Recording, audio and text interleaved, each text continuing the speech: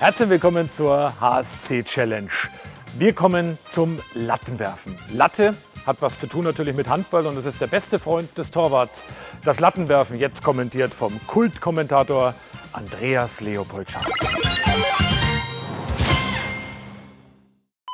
Ja, danke, danke lieber Thomas. Lattenwerfen ist also angesagt. Jetzt rechts außen gegen rechts Mitte. Jeder hat fünf Würfe von der Freiwurflinie nacheinander. Pro Lattentreffer gibt es demnach einen Punkt.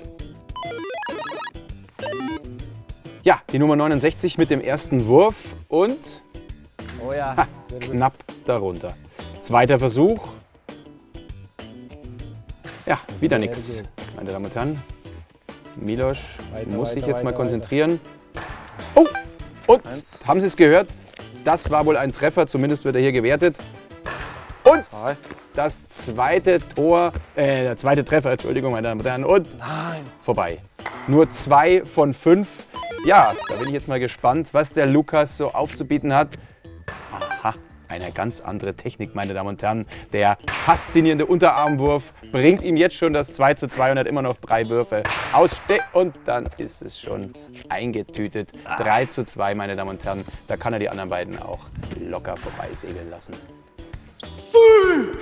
Ja, am Ende heißt es nun 3 zu 2 für Luki Juskenas, zelebriert in Form eines Jubelschreies la Cristiano Ronaldo.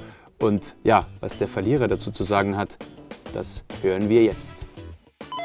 Ja, heute ist nicht mein Tag und ich muss viel besser nächstes Mal. Ja, und sehr guter Spieler für, für Lukas.